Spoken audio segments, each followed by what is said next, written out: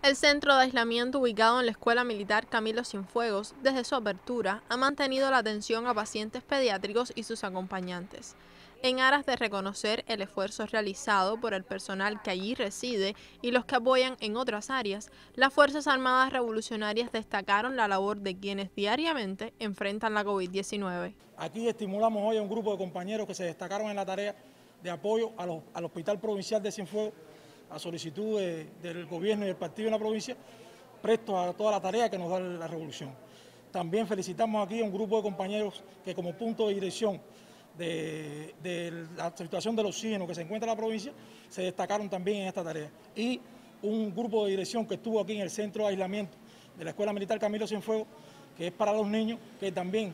eh, formó parte de la dirección de todas las tareas que se cumplían aquí en, el centro de aislamiento de, de aquí de la Escuela Militar Camilo Cienfuegos. Como parte del reconocimiento público a la labor desempeñada, fueron otorgadas las distinciones Servicio Distinguido de la FARC y destacado en la preparación de la defensa. Además, el Buró Nacional de la Unión de Jóvenes Comunistas otorgó la condición Jóvenes por la Vida a 15 integrantes incorporados a las diversas tareas de enfrentamiento a la COVID-19. Cuando comenzamos la tarea teníamos una idea física de lo que íbamos a realizar,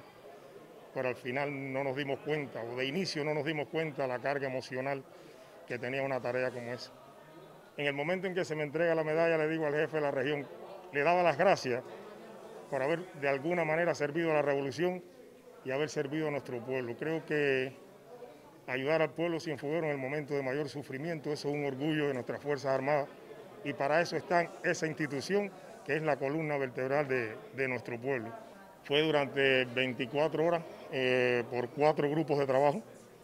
esos grupos de trabajo se encargaban de todo el proceso en unos momentos de eh, subir los balones de oxígeno y otro grupo se encargaba del de, eh, traslado de los pacientes hacia las diferentes salas. No solo los pacientes positivos, sino también los pacientes sospechosos hacia las diferentes salas que tenía el hospital donde estaban designados por cada uno de nuestros médicos. El acto, de manera simbólica, reconoce el sacrificio de quienes durante todo este tiempo, desde centros hospitalarios, brigadas de apoyo, servicios de asistencia en el transporte de oxígeno medicinal y otros escenarios, han convertido la COVID-19 en su frente de lucha.